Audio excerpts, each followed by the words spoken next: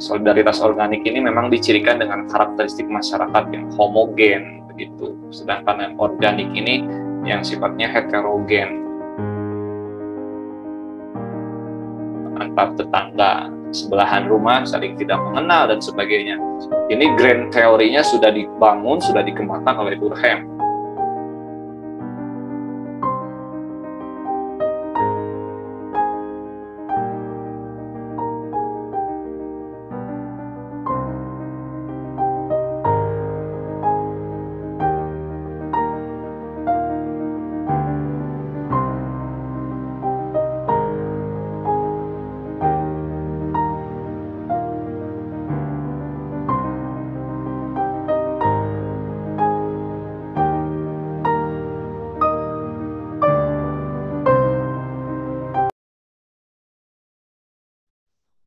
Oke, bertemu kembali bersama saya Agus Murudin, peneliti di CIC Lembaga Riset dan Konsultan Sosial. Pada kesempatan kali ini kita akan melanjutkan pembahasan sederhana sebetulnya, pembahasan ringkas terkait dengan series tokoh-tokoh sosiologi. Pada kesempatan kali ini kita akan membahas tokoh Emil Durkheim.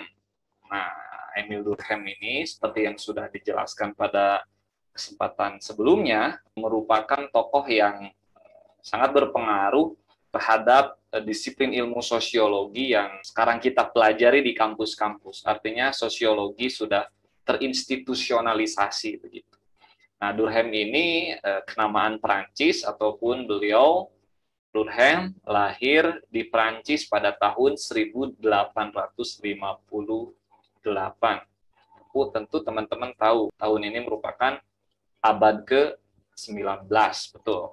Beberapa konsep ataupun katakan teori besar eh, yang Durkheim hasilkan, beberapa di antaranya terkait dengan fakta sosial.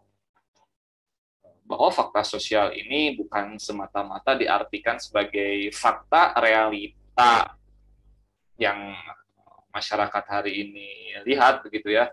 Eh, fakta adanya kecelakaan yang terjadi pada pukul 8 pagi katakan bukan dimaknai seperti itu bahwa fakta sosial dalam pemahaman Durkheim interpretasinya adalah yaitu faktor yang berada di luar e, masyarakat dan tentu mempengaruhi perilaku dari masyarakat. Fakta sosial ini bisa berupa regulasi, aturan, ataupun hal-hal seperti misalkan cuaca katakan ini sebagai fakta sosial ketika memang seseorang yang awalnya harus pergi apa namanya ke suatu tempat karena memang cuacanya tidak mendukung eh, seorang akan eh, men, apa mengurungkan untuk pergi begitu. Nah, fakta sosial ini merupakan ada konteks masyarakat yang tentu dapat mempengaruhi juga perilaku seseorang dalam melakukan suatu tindakan. Dan memang fakta sosial ini yang yang umumnya selalu dikaitkan dengan regulasi ataupun aturan undang-undang ataupun perpres dan sebagainya. Tentu itu regulasi ini dalam fakta sosial ini memang ada debatable ya teman-teman. Ada yang oh ini tidak termasuk ini termasuk mungkin teman-teman bisa juga mencari kembali bagaimana pemahaman yang lebih utuhnya. Nah, yang berikutnya ada konsep solidaritas, ada solidaritas mekanik dan solidaritas organik. Ini memang masyur teman-teman. Solidaritas organik ini memang dicirikan dengan karakteristik masyarakat yang homogen begitu. Sedangkan yang organik ini yang sifatnya heterogen itu kerap kali orang mengartikan yang solidaritas mekanik ini berada di masyarakat di pedesaan gitu. Sedangkan solidaritas organik ini merupakan karakteristik di masyarakat perkotaan. Yang mana misalkan di solidaritas mekanik gitu uh, cenderung gotong royong gitu. Guyub berbeda halnya dengan solidaritas yang organik yang ada di perkotaan individualistik begitu ya antar tetangga sebelahan rumah saling tidak mengenal dan sebagainya. Ini grand teorinya sudah dibangun, sudah dikembangkan oleh Durkheim. Tentu ini ada perkembangan secara di apa namanya di tataran meso gitu ya ataupun di tataran mikronya. Dalam konteks uh, teori ini teman-teman juga bisa melihat dari tokoh-tokoh yang lebih terbaru begitu ya, yang mengikuti dari konsep-konsep teori-teori yang dikembangkan Wilhelm. Nah, yang berikutnya, yang ketiga ada teori yang masyur juga yaitu suicide ataupun bunuh diri gitu ya. Nah, bunuh diri ini memang uh, seorang ataupun ya tokoh Wilhelm ini besar kalau profesor saya bilang itu kita pun sebetulnya mampu berteori sekurang-kurangnya mampu mematrikskan gitu ya dalam konsep suicide ini juga ada matriks dalam empat konsep itu ada anomi, ada egoistik dan altruistik begitu. Ada konsep-konsep dan fatalistik satu lagi. Ini mampu di, dimatrikskan begitu ya. Anomi katakan luluhnya norma ataupun tidak adanya norma yang menjadi ikatan gitu ya.